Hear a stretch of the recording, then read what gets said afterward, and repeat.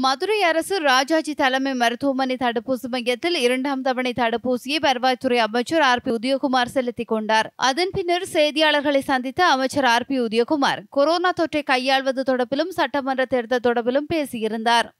அனைவரும் தாமாக முன்வந்து தடுப்பூசி போட்டுக்கொள்கின்ற அந்த விழிப்புணர்வு மக்களிடத்தில் தற்போது முழுமையாக ஏற்பட்டு கொண்டிருக்கிறது.